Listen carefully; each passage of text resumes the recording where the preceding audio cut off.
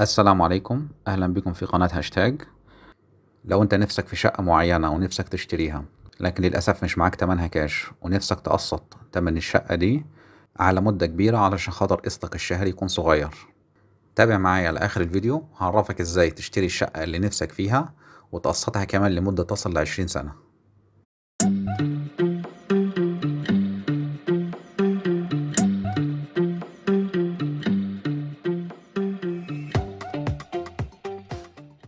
لو في شقة معينة نفسك تشتريها. بس للأسف صاحب الشقة عايز يبيع الشقة دي كاش ومعندوش إمكانية إن هو يقسط لك. أنت في الحالة دي هتعمل إيه؟ في الحالة دي أنت ممكن تقدر تشتري الشقة دي بنظام التمويل العقاري. هنتعرف مع بعض إيه هو نظام التمويل العقاري. فكرة التمويل العقاري بكل بساطة إن حضرتك طبعا بتروح لبنك معين وبتطلب منه إن أنت عايز تشتري شقة معينة والشقة دي عايز تبدأ تقسطها مع البنك لمدة مثلا تصل لعشرين سنة. البنك بيشوف الشقة اللي حضرتك انت عايز تشتريها ويبدأ يعينها وبيشوفها طبعا هل تنطبق عليها شروط التمويل العقاري وبعد كده بيبدأ يتفق مع صاحب الشقة ويدفع له تمن الشقة كاش ويبدأ يقسط معاك انت لمدة تصل لعشرين سنة. آه، بس كده؟ آه بس كده. بس خلي بالك في شروط معينة لابد من تكون موجودة في الشخص اللي هيشتري الشقة وفي الشقة نفسها اللي هي طبعا هتتمول بتمويل عقاري. هنشوف مع بعض الشروط لابد من توفرها في الشخص اللي هيشتري الشقة والشروط اللي لازم تكون موجودة في الشقة اللي البنك هيمولها تمويل عقاري. وفي نهاية الفيديو هعرفك على أسماء البنوك اللي بتتبع نظام التمويل العقاري. هنبدأ مع بعض بالشروط المتعلقة بالمشتري وهنقرأ الشروط من على موقع بنك التعمير والإسكان وده من البنوك اللي بيوفر التمويل العقاري. يلا بينا نروح على موقع بنك التعمير والإسكان. زي ما أنتم شايفين كده ده موقع بنك التعمير والإسكان. هندخل على حاجة اسمها خدمات الأفراد بعد كده هندخل على التمويل العقاري. دي الشروط العامة الصادرة من البنك المركزي المصري. هنشوف طبعا المستندات المطلوبة. أول حاجة بيقولك الموظفين.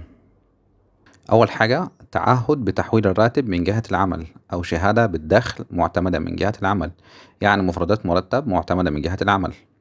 بعد كده بطاقة الرقم القومي للزوج والزوجة. الحاجة التالتة قسيمة الزواج. الحاجة الرابعة عقد إيجار أو عقد تمليك لمحل الإقامة. وإيصال مرافق حديث لمحل الإقامة. بعد كده كشف حساب لمدة ست أشهر على الأقل. اللي هم البنك بتاعك. حضرتك لو موظف طبعا بتروح البنك بتاعك وبتعمل كشف حساب لآخر ست شهور.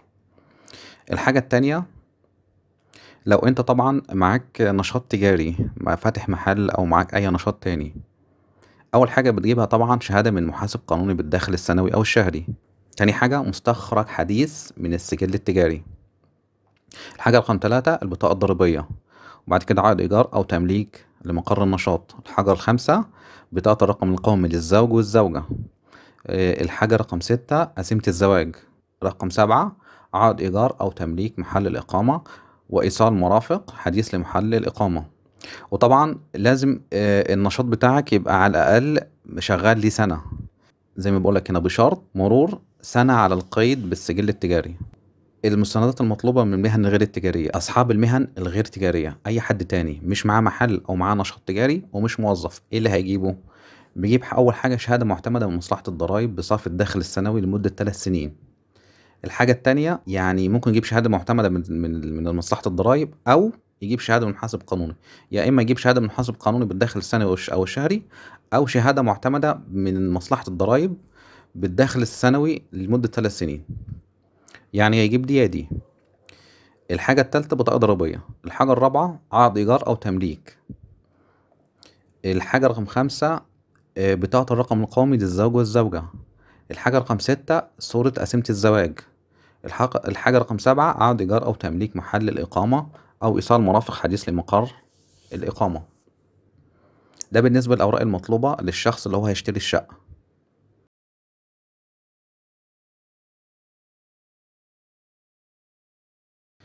في حاجة تانية كمان.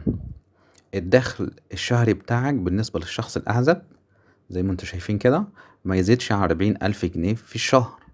وبالنسبة للأسرة ما يزيدش عن خمسين ألف جنيه في الشهر برضه. يعني الأسرة الزوج والزوجة الاتنين مع بعض ما يزيدوش عن خمسين ألف جنيه في, في الشهر الواحد. ده بالنسبة للشروط اللي لازم توفرها في الشخص هيشتري شقة إيه الشروط اللي لازم توفرها في الشقة اللي أنا عايز أشتريها؟ علشان خاطر البنك يبدأ يمولك وياخد الشقة دي يمولها تمويل عقاري لازم في شروط معينة لازم يكون موجودة في الشقة دي عشان البنك يوافق عليها إن هو يمولها تمويل عقاري. أول حاجة طبعا الشقة طبعا المساحة بتاعتها ما تزيدش عن 150 متر ويكون كاملة التشطيب وجاهزة للسكن. الحاجة رقم اتنين إن الحد الأقصى للسعر الوحدة اللي البنك هيمولها لك ما تزيدش عن 2 مليون 250 ألف جنيه. تمام؟ الحاجة رقم تلاتة طبعا آه، آه، بتدفع أنت عشرين في المية من تمن الشقة والباقي البنك بيمولك تمانين في المية. الحاجة رقم أربعة ودي مهمة جدا لازم الشقة اللي أنت هتشتريها تكون موجودة في عقار ليه رخصة بناء يعني ما ينفعش تروح لبنك وتقول له مول لي الشقة دي تمويل عقاري والعقار أصلا مخالف أو ملهوش رخصة بناء لازم يكون المبنى نفسه ليه رخصة بناء دي حاجة مهمة جدا. في حاجة أخيرة بالنسبة للفايدة حضرتك طبعا لو هتاخد الشقة دي وتمولها لمدة عشرين سنة الفايدة طبعا سعر عائد متناقص عشرة في المية بما يعادل ستة وتسعة وستين من مية في المية. ده الفايدة بتاعتك على الشقة سنويا طبعا لمدة عشرين سنة. طيب لو انت حضرتك عايز تقسط على عشر سنين مش عايز عشرين سنة. سعر العائد لمدة عشر سنوات بيبقى سبعتاشر في المية وربع. بما يعادل عائد ثابت 11 و23 من مية في المية سنويا وفي طبعا مصاريف أتعاب دراسة اللي هو واحد في نص في المية من قيمة التمويل. بحد أقصى خمسة وعشرين ألف جنيه. البنك طبعا بياخدها منك. ده بالنسبة للشروط اللي لازم توفرها في الشخص اللي هيشتري وفي الشقة اللي هتتمول تمويل عقاري. نيجي نبص على حاجة أخيرة ونشوف أسماء البنوك اللي هي داخلة في مبادرة التمويل العقاري. ندخل على موقع صندوق التمويل العقاري. زي ما أنتم شايفين كده دخلنا على التمويل العقاري. هندخل على جهات التمويل العقاري.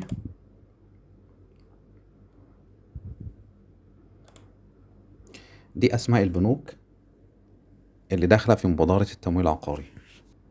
أول حاجة البنك الأهلي. البنك الأهلي. البنك العربي الأفريقي. البنك العقاري المصري. البنك المصري الخليجي. الشركة المصرية للتمويل العقاري بنك الاتحاد الوطني بنك التعمير والإسكان بنك الاستثمار العربي بنك التنمية الصناعية بنك الشركة المصرفية العربية بنك القاهرة بنك القطري بنك الكويت الوطني بنك المصرف المتحد بنك بلوم بنك فيصل.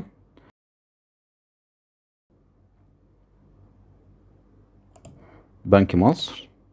بنك ناصر شركة الأهلي المتحد شركة الأهلي للتمويل العقاري شركة أملا شركة أملاك للتمويل العقاري شركة تمويل للتمويل العقاري شركة كونكت للتمويل العقاري شركة التعمير شركة التعمير للتمويل العقاري شركة العربي الأفريقي الدولي للتمويل العقاري.